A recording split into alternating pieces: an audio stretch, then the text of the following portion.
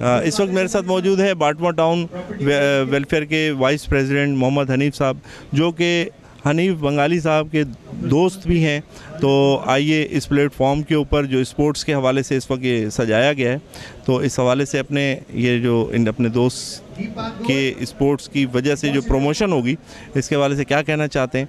तो आइए बात इनसे करते हैं। बड़े अच्छी खुशी की बात है।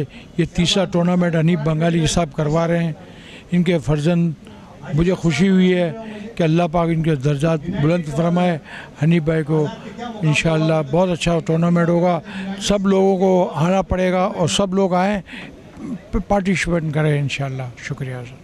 मेमन मेमन कम्युनिटी में जो स्पोर्ट्स के हवाले से आप यंग लड़कों को जिन्होंने पार्टिसिपेट किया है उसके अलावा जो आपके यंग लड़कर हैं लड़के हैं वो जो मोबाइल्स के अंदर आजकल लगे रहते हैं सारा दिन अपनी कोई जिस्मानी एक्टिविटी नहीं करते तो उनके हवाले से उनको क्या पैगाम देंगे अपने द मेमन टीवी के हवाले से?